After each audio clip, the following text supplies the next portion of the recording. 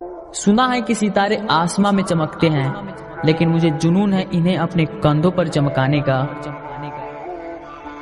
किसी के लिए सर्विस होगी तो किसी के लिए जॉब, लेकिन हमारे लिए ईमान और धर्म की ज़िंदगी है। ये यूपीएससी का नासा थोड़ा अलग होता है जनाब। यहाँ एक से या पढ़ाई किसी एक को ही चुनना पड़ता है।